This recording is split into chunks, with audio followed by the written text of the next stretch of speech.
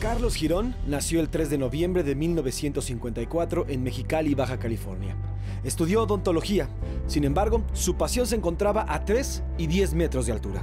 A los 10 años, encontró en el trampolín a su mejor amigo. Rápidamente destacó entre sus compañeros por su gran elasticidad y enorme talento para lograr clavados de amplia dificultad. Sus grandes aptitudes le permitieron entrar al equipo olímpico mexicano. Para los Panamericanos de 1975 en la Ciudad de México, logró su primera medalla de oro en la modalidad de plataforma de 10 metros y una de bronce en la de 3. Cuatro años después, en San Juan, Puerto Rico, ganó plata y bronce en las mismas altitudes.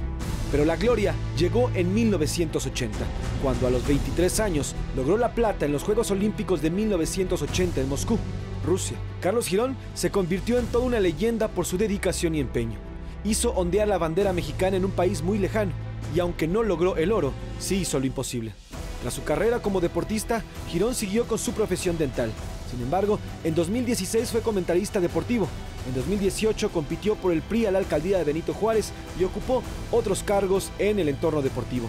Hoy, el gran clavadista debate su vida en el Centro Médico Nacional Arrasa, causa de una neumonía. Esperemos que en esta competencia también salga adelante. José Luis Sánchez, Heraldo Media Group.